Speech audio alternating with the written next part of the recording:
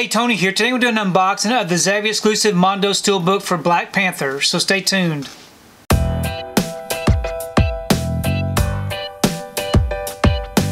So today I received my order for Black Panther. This is a Zavvi exclusive steelbook. Um, it is a Mondo steelbook.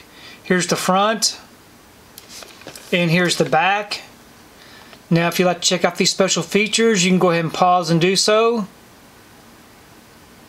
I'm going to go ahead and remove this from the wrapper and we can take a closer look at this steelbook.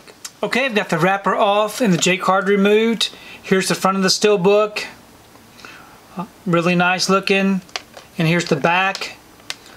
Um, so this does come with a sleeve. It is a Mondo steelbook. I'm going to go ahead and remove the sleeve so that you can see the steelbook itself. But anyway, here's the sleeve itself with all the with the title and the gold foil look. And then here's the steelbook, really nice looking. It does have a lot of spot gloss on it. Really nice looking image, and I really like the back of it. So very nice looking image. Open it up. Then on the inside we do have our 4K disc with some new artwork that goes along very well with the steelbook and we have our Blu-ray disc with some different artwork. And we do have some inside artwork. Nothing really big. But a very beautiful looking steelbook Okay, I've gone ahead and I placed this steelbook inside this protective bag. Now this bag will help keep the steelbook from getting scuffed up on the shelf up against the other steelbooks.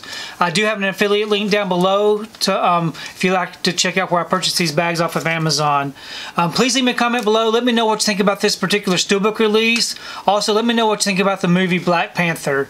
Um, I, we, me and my wife did see this one in the theater and we really enjoyed it. We have not seen it since, um, so I'm looking forward to checking this one out in 4K. If you like what you saw here today, please give it a thumbs up and share the video. If you haven't subscribed to my channel, I really appreciate it if you subscribe. If you do subscribe, please remember to hit that notification bell so that you can be notified every time I upload a new video. If you haven't found me on my social media accounts, I'm on Facebook, Twitter, and on Instagram. And if you'd like to check out what I've been watching, you can find me over on Letterboxd. I do have links below. But thanks again for watching, and we will see you next time.